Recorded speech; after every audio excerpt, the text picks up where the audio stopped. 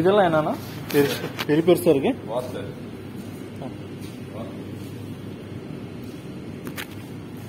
இது? எட்டுன்னு வருதா சோனாலி. அது டெய்லி முட்டை வைக்குதுன்றாங்களே அந்த கோழியை. அதுவும் இருபத்தொரு நாளா இல்லை அது கம்மியா? இந்த வாத்தன்னா? இது இருபத்தி எட்டு நாளா ஆனா ஒரு முட்டை இப்போ கோழி வைக்குது இல்ல அது வச்சது எத்தனை நாளுக்குள்ள கொடுக்கணும்? ஆறு நாள். ஆறு நாள். ஆறு நாளுக்குள்ள கொடுத்தாதான் பெரியுமா இப்போ ஒரு மாசம்லாம் ஆயிட்டா?